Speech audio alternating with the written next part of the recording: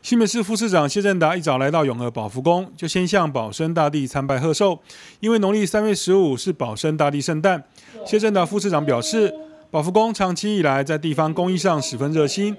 秉持着济弱扶倾的精神，嘉惠地方，年年荣获新北市基优宗教团体表扬，因此特别代表市长感谢保福宫。这两百年之间，保生大帝为我们永和地区的平安，还有我们所有民众的。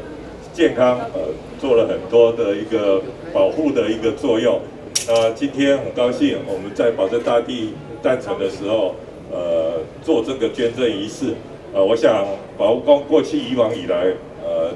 在我们各地方的一个捐赠，还有我们清寒我们学生的清寒奖学金，还有我们所有的呃过年过节的一些救助，都做了很多的一个善事。而今年保福宫更捐赠了一辆价值四百五十万的消防车给新北市政府。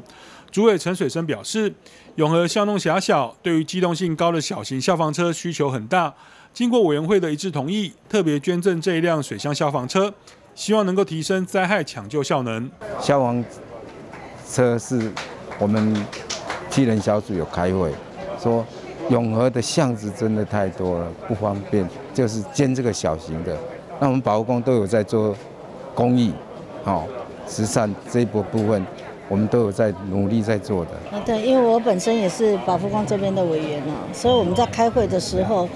呃，就有说针对我们这两百周年要做怎样的庆祝活动。那我们认为说，我们把这个。我们这边最需要的就是小型巷道，我们一般的消防车是进不去的啊，所以我们就捐赠了一个这样小型的消防车，让我们地方上呢，因为有这消防车更加的平安。